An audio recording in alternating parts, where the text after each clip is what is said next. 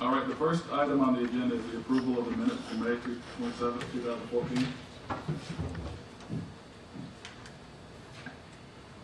Chairman, um, I would like to make a, a recommendation of approval of the minutes for May two thousand and fourteen.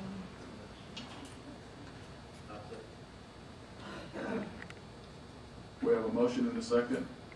All in favor, say aye. Aye. Opposed, have the same right. All right, motion passes.